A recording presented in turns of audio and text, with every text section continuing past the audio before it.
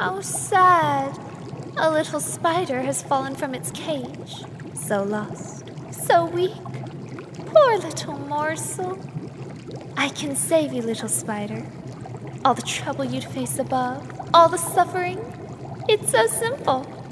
I'll just skewer you, here and now. Pluck that flickering life right out of you. Your threats are worthless. If you are my foe, cease this prattle and raise your blade. Delicious! I like you already.